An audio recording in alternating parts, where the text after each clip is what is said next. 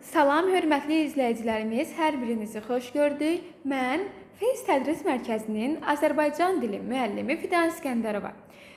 Deməli, bu gün biz sizinlə sonu q ilə bitən sözlərin tələffüzünə toxunacağıq.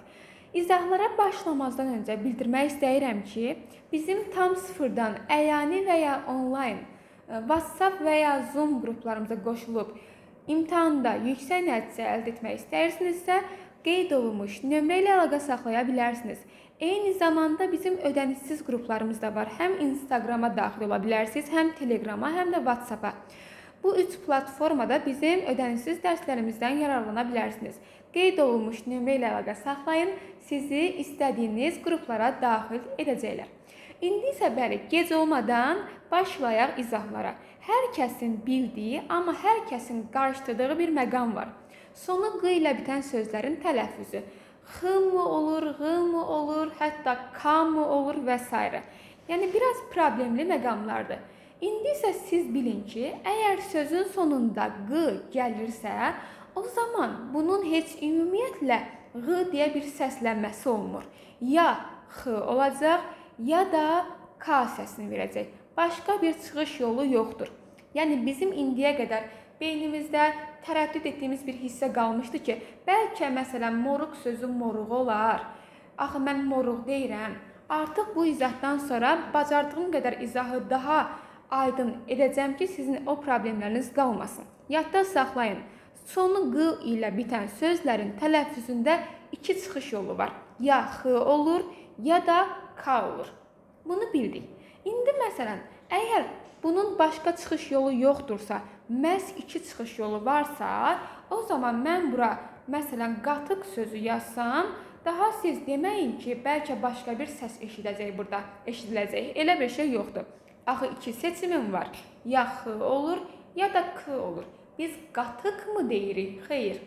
Biz qatıq deyə bilərik, amma bu izahdan sonra onu belə deməyin. Deyin ki, bu q-nın iki çıxış yolu var. Ya budur, ya da budur. Hər ikisini qoyaq yerinə baxaq. Qatıq olmaz. Deməli qatıq olar. Və yaxud da moruq. Kimsə moruqmu deyir? Xeyr. Deməli moruq olacaq. Və yaxud da yazaq bura deməli dialoq. Baxın, iki çıxış yolum var dedim. Gəlin həm sona x-nı qoyaq, həm də sona k-nı qoyaq. Sizcə hansı düz olacaq? Təbii ki, diyaloq. Axı dialoq olmaz. O səbəbdən bax iki seçimim var idi da. Ya bunu qoyacağam, ya da bunu. Artıq onu məntiqdən özüm bilirəm ki, məsələn, qatıq sözündə k olmaz. Moruq sözündə k olmaz. Dialoq sözündə x olmaz. Baxın, mən əgər bura 5 seçim, 6 seçim qoysam biraz qarışıq olardı da. Axı 2 seçim qoymuşam. Artıq bu sizdən asılıdır. Siz məntiqlə hər bir səsi ən sona qoyun, görün hansında uyğun gəlirsə, cavab odur. Bu hissədə belə. İndi baxaq hansı məqama. Bildik ki, bəli, sözümüzün sonu ya x ilə bitəcək, ya da k ilə, yəni k səsini verəcək. İkisindən biri olacaq. İndi bəli, biz bunu bildik. Razıyam, adlı halda bu cürdür. Məsələn, moruq. Məsələn, e, dialoq Bitdi, bunu bildim. İndi bəs bu tip sözlərə, baxın moruq. Bəs bu tip sözlərə ə, samitlə başlanan şəkilçi əlavə etsəm hansı hadisə baş verəcək? Hələ ki bu sözlər görürük ki, adlıq haldadır. Yadda saxlayın. Bu tip sözlər adlıq halda olanda hansı səsi verirsə, samitlə başlanan şəkilçi də əlavə etsəm, samitlə başlanan söz də əlavə etsəm, eyni səsi verəcək. Bu nə deməkdir? Moruq bildim. Adlı halda bu cürdür. Deməli, samitlə başlanan söz də əlavə etsəm, bu hadisə baş verəcək. Samitlə başlanan şəkilçi də əlavə etsəm, bəli, bu hadisə baş verəcək. Bir dəqiqə, aha.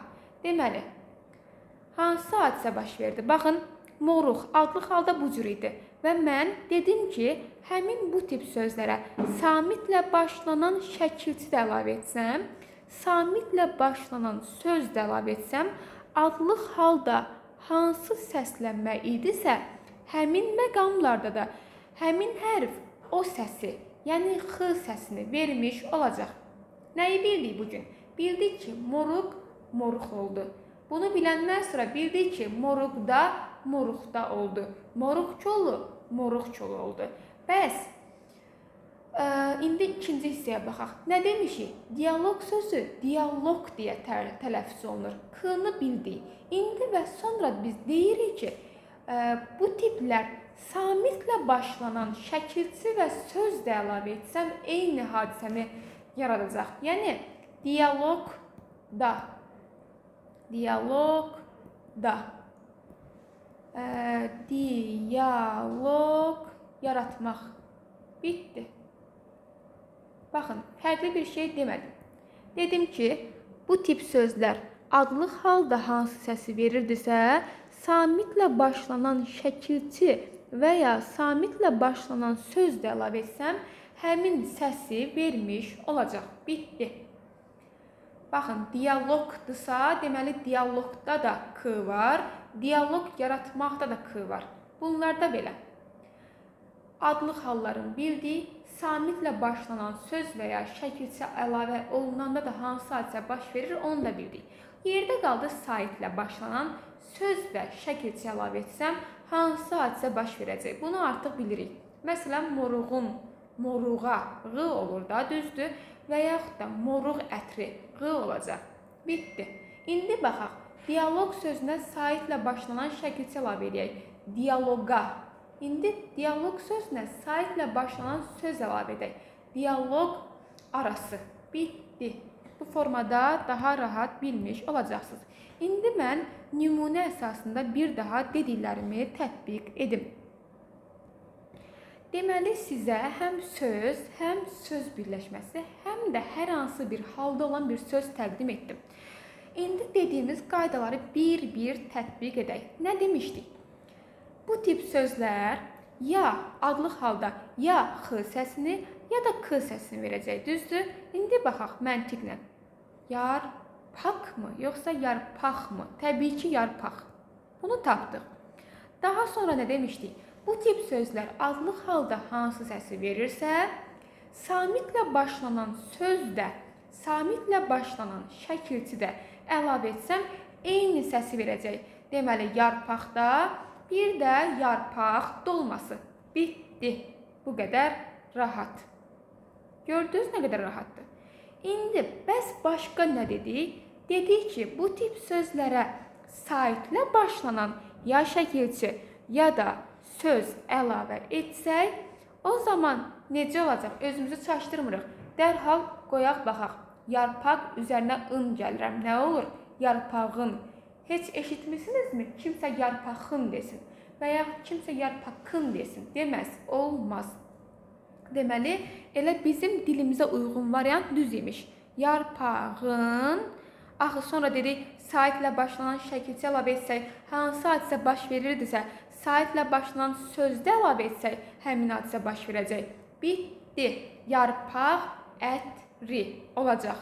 İndi mən sizə ev tapşırığı verirəm. Siz ev tapşırığını rəy bölməsinə yazırsınız və mən də rəylərdən sizin cavablarınızı yoxlayacağam. Aha, deməli bu sözləri siz ə, e, qeyd edirsiniz dəftərinizdə. Hər birini tələffüz edirsiniz. Baxın, mənə əsas bu məqamlar lazımdır. Görüm siz tələffüzdə bu məqamları hansı səslə əvəz edəcəksiniz. Deməli, bəli, bunları tələffüz formasını mənə yazıb rəy bölməsinə göndərirsiniz. Bir də digər ikinci mən sizə sualımı verim. Həmin də sualın ekran görüntüsünü alarsınız. Rəy bölməsində fikirlərinizi yazarsınız. Bəli, deməli bu söz və birləşmələrin də qeydini aparacaqsınız, tələffüzünü rəy bölməsində yazmış olacaqsınız. Belə əziz müdavimlərimiz, ümumiyyətlə əziz izləyicilərimiz hər kəsə, həm sertifikasiya hazırlığına, həm abituriyentlərə, həm MİQ-ə, həm ə, e, yəni bütün sahə üzrə hazırlaşan izləyicilərimizə aid idi bu izah. Bu tip izahların davamının gəlməsini istəyənlər deməli kanalımıza abunə olub yəni göndərilən video izahlarda bəyənə bilərlər və rəy bölməsində də öz təkliflərinizi, iradlarınızı bildirə bilərsiniz. Növbəti izahımız artıq bizim Ç hərfinin səslənməsi haqqında olacaq. bu izahlardan da yararlanmaq istəyənlər, deməli bizim kanalımıza abunə ola bilərlər. Sağ olun, növbəti izahlarımızda görüşmək ümidi ilə özünüzə yaxşı baxın.